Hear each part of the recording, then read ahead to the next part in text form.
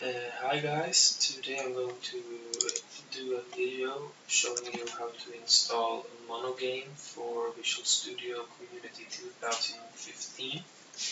Uh, monogame is an, uh, a class library for games uh, and content. So as, as you can see now I've started Visual Studio, so if I go under File project.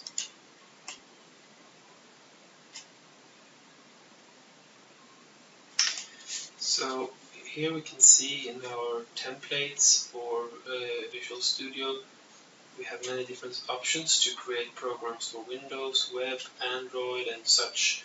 Um, but if we want to create a game, uh, we could create every class by ourselves, but it's easier to use uh, monogame for that. So what you want to do is go to internet and uh, what you want to search for is um, mono game.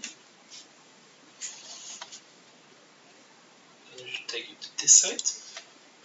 So this is monogame and uh, it's a library for creating great games in uh, Visual Studio C Sharp. And uh, the games you can uh, so the games you create in this can be released for many different platforms. So what you want to do is go under Monogame 3.4 and Monogame 3.4 for Visual Studio. You get this uh, exe file, which is totally working. So we can pause. So now the downloading has finished, so what you want to do now is just press the file and go under next, and uh, you have, probably have to clo close Visual Studio for now, otherwise it won't install.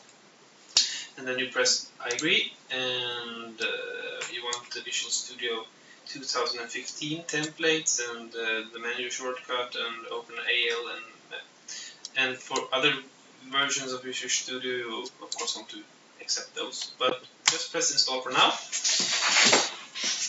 And we wait.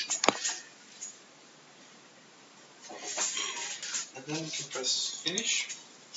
And now when you start Visual Studio, you should find the alternative to create a monogame. So file, new project, and if we look in this list here, which takes forever, um, we can now find game nope um, monogame here and uh, there are different types of mono games. if you want to create a game for Linux, Android, Windows and so forth um, I want to create a Windows project so I just name it game1 and see the location which it saves in and press OK and